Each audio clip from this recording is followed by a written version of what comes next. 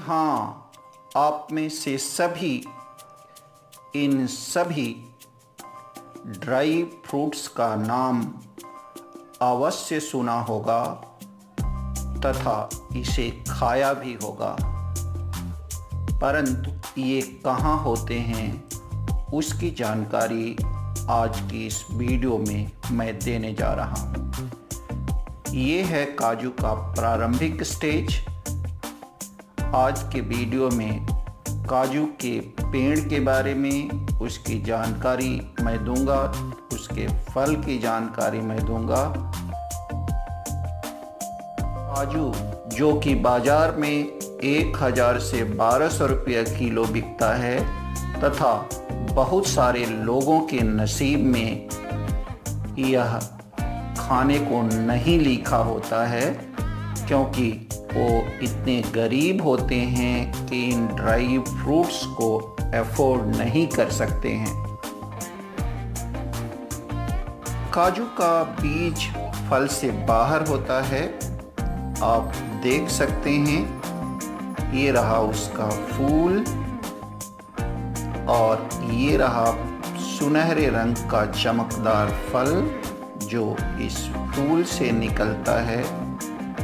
तथा बाद में पकता है तो पीले या पिंक रंग का मीठा फल में तब्दील हो जाता है।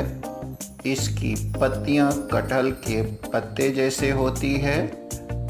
आप देख सकते हैं, पेड़ बहुत बड़ा नहीं होता है, बहुत छोटा भी नहीं होता है।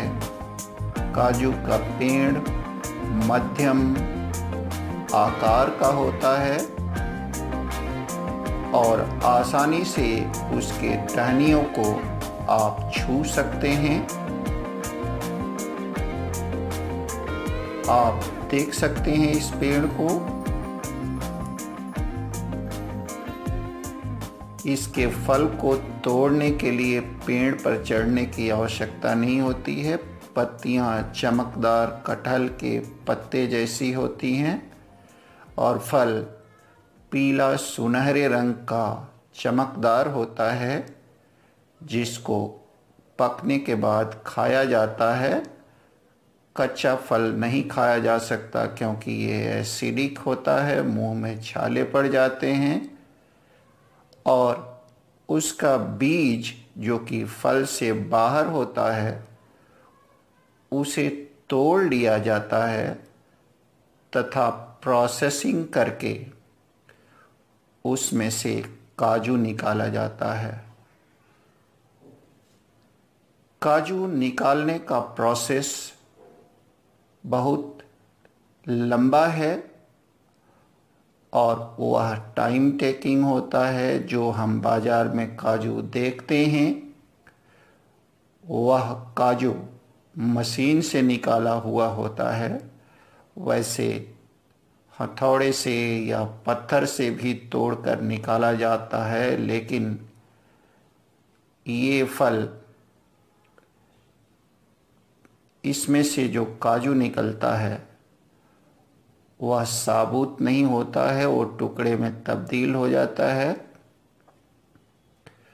काजू उष्ण कटिबंधीय मौसम में होता है। जिसको इंग्लिश में ट्रॉपिकल क्लाइमेट कहते हैं, तथा समुद्र तटीय क्षेत्रों में यह बहुतायत पाया जाता है। भारत के समुद्र तटीय राज्य जितने हैं उड़ीसा के पूरी और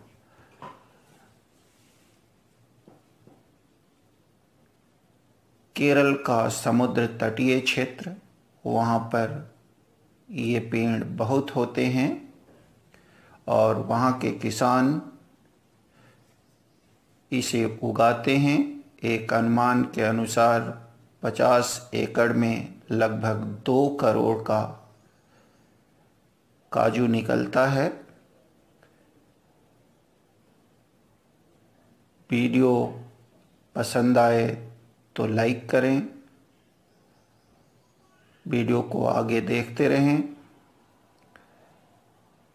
गौर से देखिए, वैसे आप अपने घरों में भी इसे उगा सकते हैं। नीचे लटका हुआ जो बीज है, उसे 24 घंटा पानी में सोकिंग करने के बाद, भिगाने के बाद, उसे प्लास्टिक की थैली में लगाया जा सकता है और उसमें से 15-20 दिनों के बाद काजू का पौधा निकलकर बाहर आता है।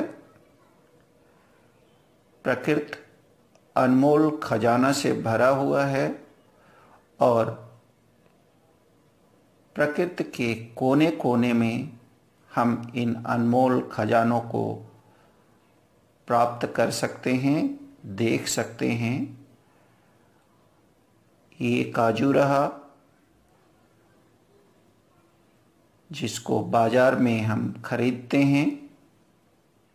वीडियो को लाइक करें, अपने मित्रों को शेयर करें, चैनल को सब्सक्राइब करें।